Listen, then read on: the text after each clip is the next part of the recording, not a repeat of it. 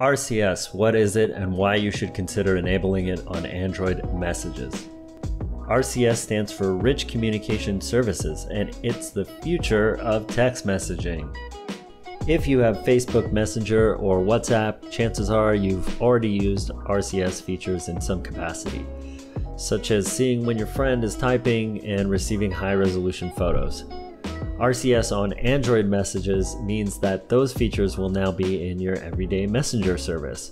Of course, this is contingent upon carriers deciding to support it with additional fees, but right now you can get it for free and enabling these features are a glimpse into the future of messaging. So grab one of your buddies and try it out. Step-by-step instructions are in the description along with the original Android Police article detailing the steps that I followed.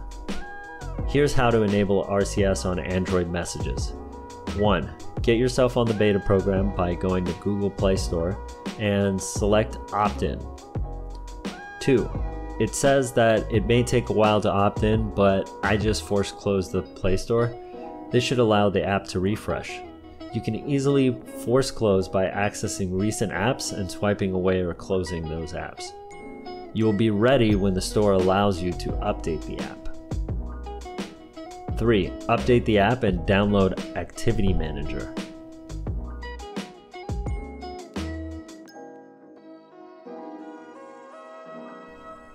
Four, turn off Wi-Fi. Not sure why we need to do this, but I followed the instructions from Android Police to a T. 5. Open Activity Manager and select the drop-down menu to show all activities and scroll to Messages. Tap Messages and select Set RCS Flags. 6. Select ACS URL and set it to the Prod Sandbox URL here. 7. Select OTP pattern and set it. For me, there was only one selection here, but for reference, I've included the URL. 8. Force close and open the Messages app. 9. After you've completely reopened messages and all your contacts have been imported, you should see an upgrade option. If you don't, try force closing the app again. Select upgrade and go through the verification flow. 10. Once that is complete, you should be good to go. You can verify easily by going to settings, chat features, and you should see that you are connected. For further troubleshooting guides, you can visit the original article referenced in the description below. Let me know if you like these little hacks in the comments below, and if you don't, hit the dislike button.